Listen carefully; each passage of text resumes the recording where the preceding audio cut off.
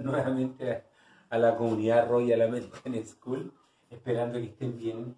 Eh, vamos a tratar de, hacer ciertas cosas que posiblemente se puedan hacer en la casa, como por ejemplo jugar, especialmente con los más chiquititos e inclusive con los más grandes. No requerimos de mucho espacio y tampoco de mucho material. ¿ya? Eh, y para poder desarrollar ciertas habilidades motrices, en este caso vamos a jugar. Pero vamos a jugar al eh, tenis globo o globos tenis, ¿ya? esperando que ojalá todos pudieran tener unos globos en la casa. Lo vamos a inflar como todos lo hacemos y no lo vamos a dejar tan grande.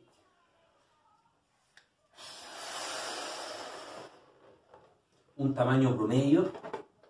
Le vamos a hacer un y ya tenemos nuestro, eh, nuestro, nuestra pelota, pero en este caso va a ser un globo. ¿ya? Para esta actividad se requieren dos.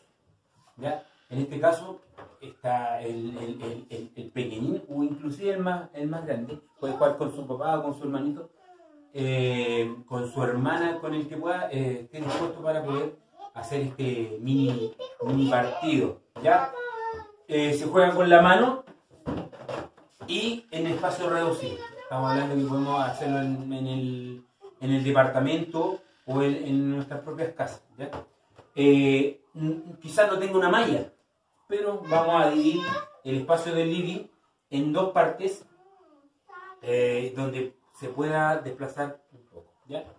Las reglas las pueden poner ustedes, pero eh, traten de respetarlas. Lo más importante es respetarlas. Si ustedes van a realizar las reglas, eh, piénsenla, cuál puede ser, yo les puedo dar una. Eh, solamente el globo se le puede pegar una sola vez por lado para que cruce.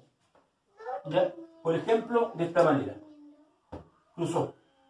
Y el, que está al lado opuesto lo, lo devuelve. Y con eso ya podríamos entretenernos y hacer un partido. Lo podríamos eh, dejar en, en, puntos.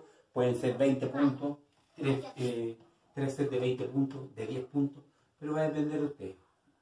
Vamos a ver cómo les va a resultar durante el concurso.